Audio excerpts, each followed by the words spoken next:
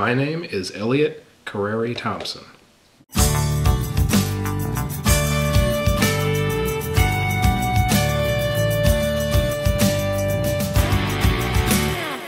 My experience at the NFU has been wonderful. The community, the love, the presence, everybody coming together.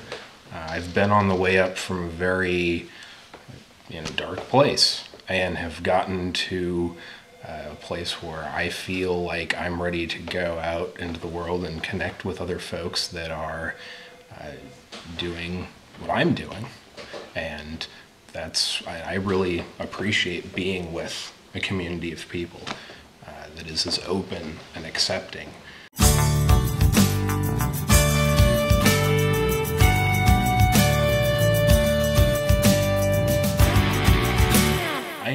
That being a lifelong musician, and it's something that I care very deeply about, I notice that my music has improved a great deal. Um, I used to play and I'd kind of always be afraid that I'd mess up or, you know, I'd always try to analyze the music or, or think about it or make sure that I'm doing everything. And now I just play and the music comes.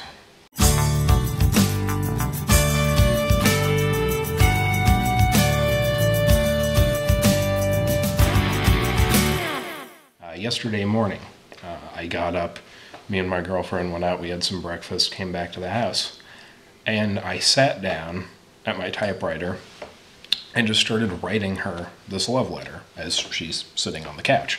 And it just came out. And, and I looked at it. Uh, and I've, I've recently started doing some writing just for my own personal because I enjoy it. And all of the best uh, writing, not just from me, but from anybody, comes from the heart.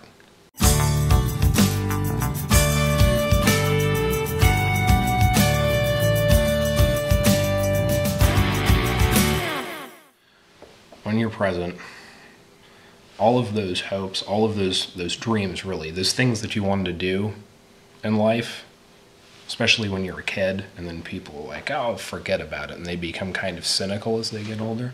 All that stuff is possible. You can still do the things that you love to do. You can still have a great time, and you can make a difference.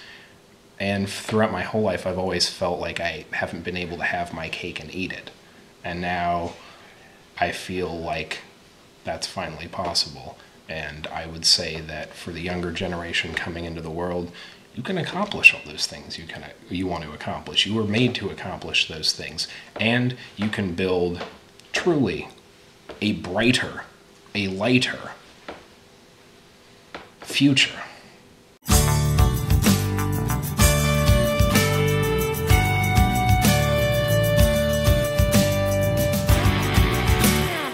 in the process for you and for those that come after you and make the world a kind of world that you want it to be.